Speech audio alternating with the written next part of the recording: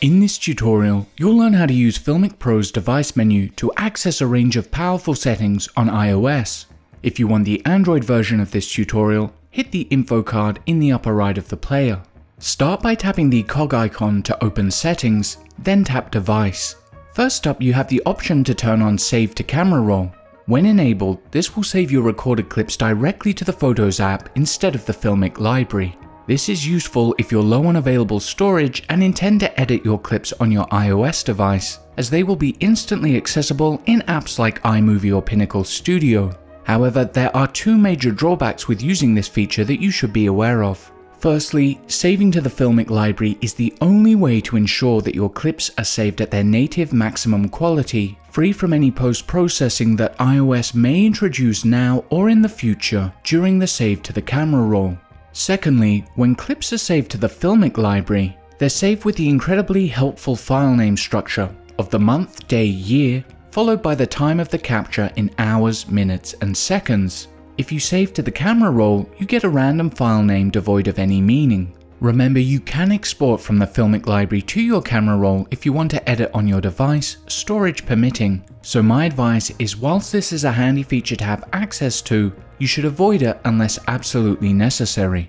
Below this is one of my favorite features, Stitch Recorded Footage. When enabled, if you tap outside of the settings menu, you'll notice that the record icon in the lower right has changed.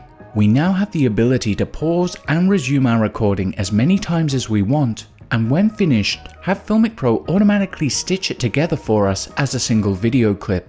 Tap once to start your recording, and then press pause. Set up your next shot, then tap the record icon again to resume, and then pause when you're finished.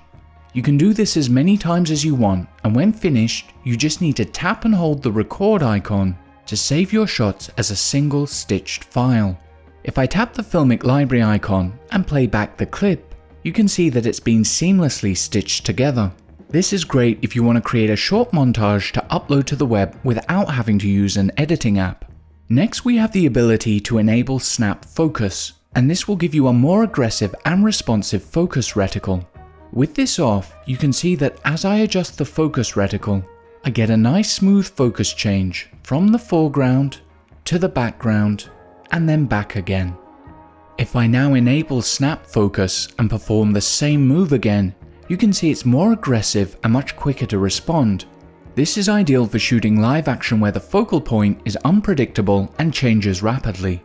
Next up is the orientation lock, and when enabled, it will lock your currently selected orientation.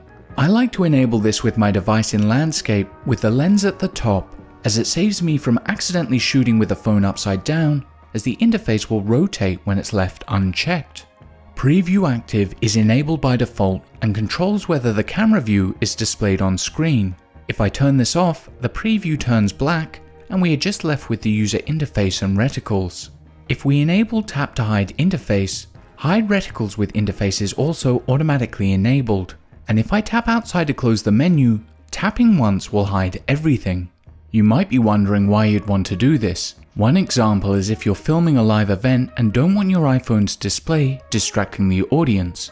Instead, you could enable the preview while you compose your shot and set the focus and exposure.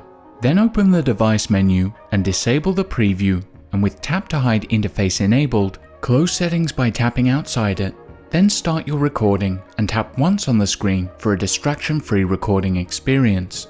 When your shot is done, tap once on the screen to reveal the interface and stop the recording and re-enable the preview.